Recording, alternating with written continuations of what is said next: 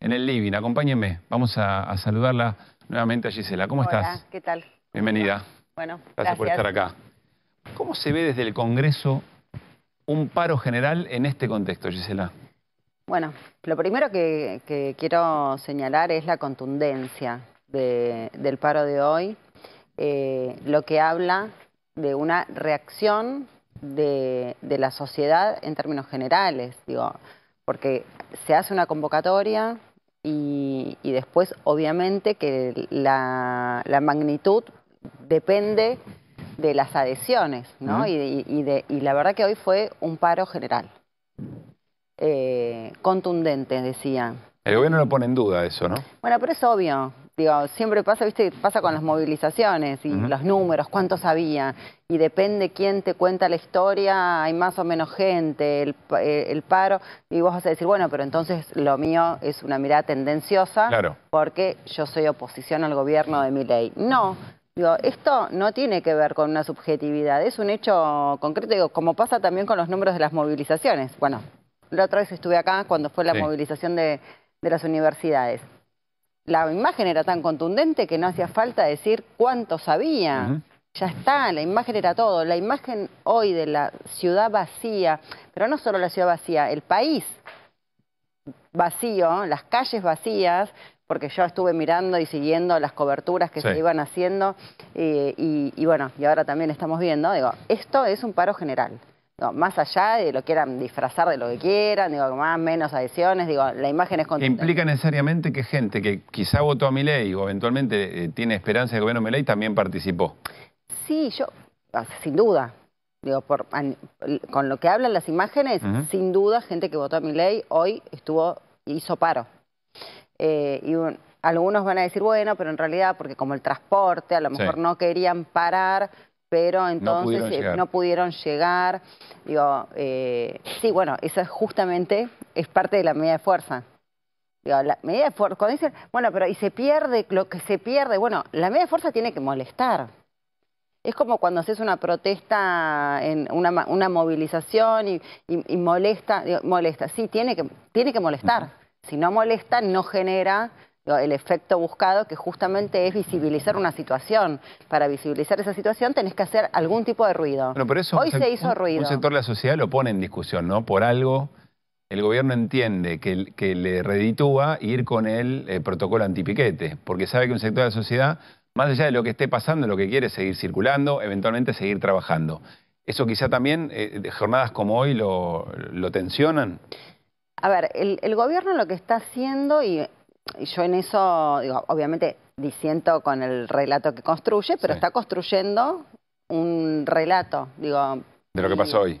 En todo, digo, está mm. construyendo un relato. Cuando uno está a cargo de un gobierno, digo, lo que está muy bien construir un relato, porque es parte de esa construcción para, para, para seguir sosteniendo... Es coordenar la mirada de las cosas. Y sí, digo, pero me parece, digo, yo no entiendo perfectamente que eso suceda. De hecho, no sucedió con el gobierno de Alberto Fernández.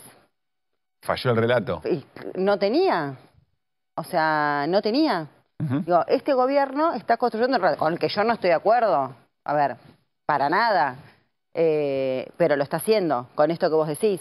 ¿no? Como tomando, ¿no? Eh, eh, interpelando desde un lugar que es de confrontación con lo que sería otro relato, ¿no? Claro. Que, que es el con el que yo coincido.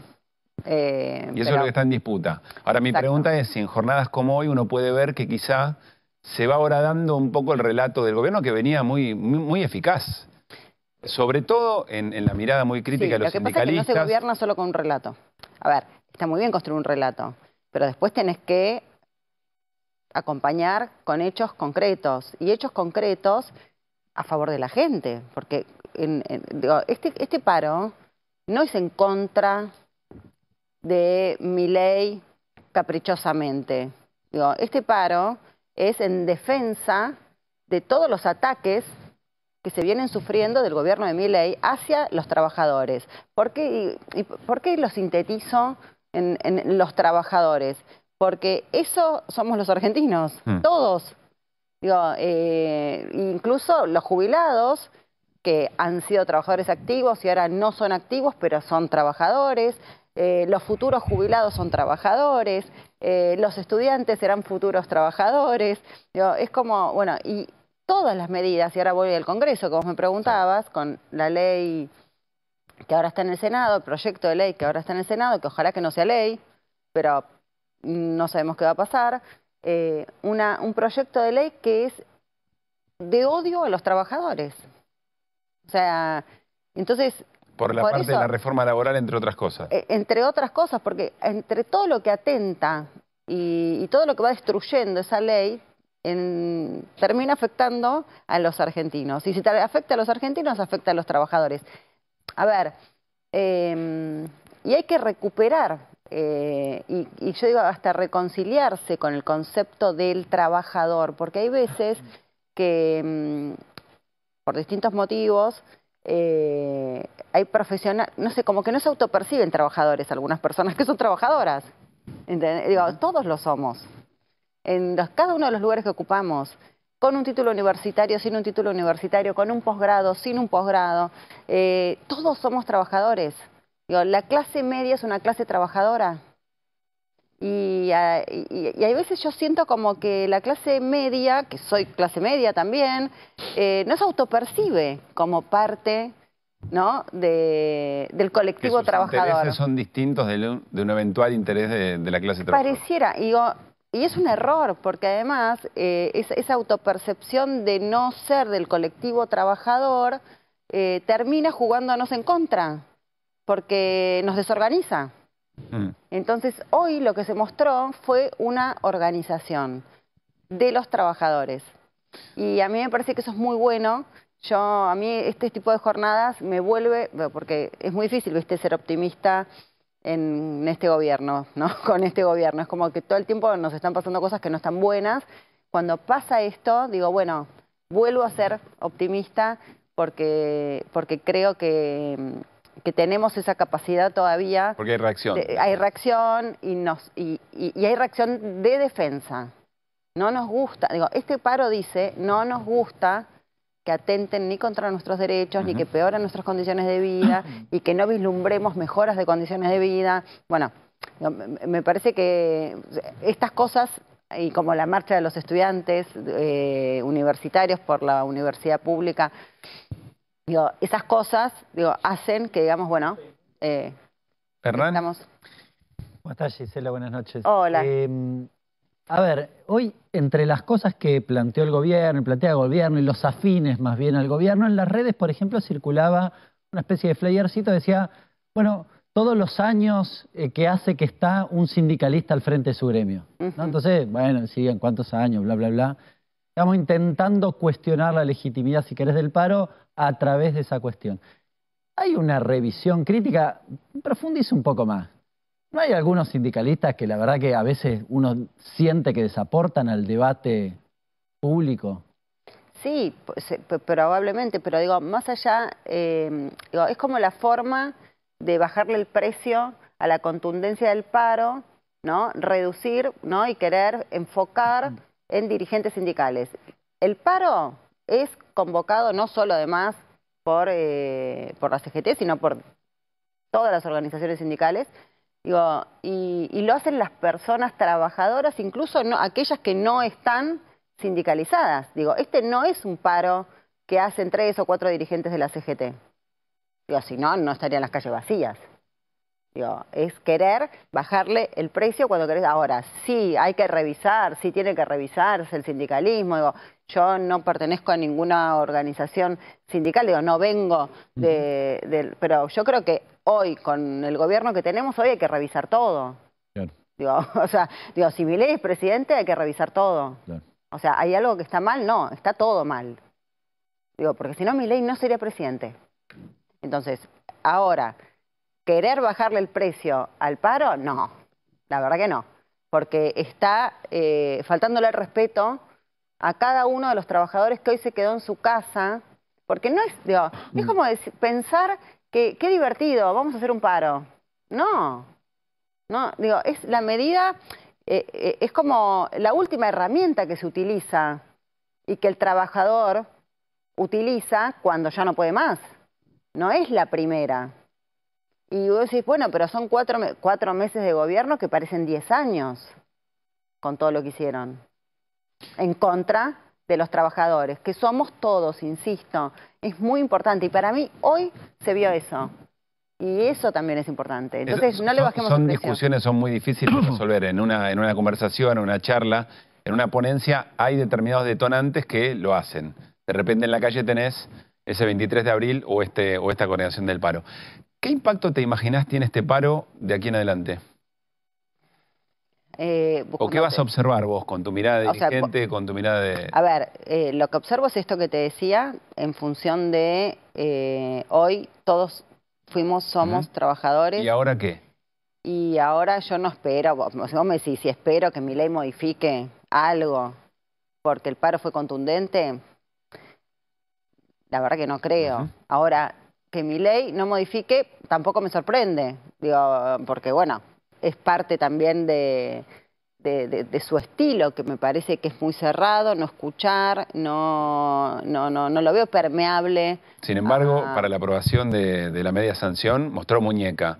Acá decía Martín Granowski. Sí. Y mi ley demostró con esa media sanción que no es solo licuadora motosierra, también es muñeca política. Sí, creo que fueron aprendiendo, ¿no? Porque tuvieron una derrota muy grande con el primer tratamiento de, la ley ómnibus. Tuvo que achicarla, reducirla, negociar con los que se sientan a negociar con el, con el gobierno, que tienen un discurso, que eso es muy importante y hay que decirlo.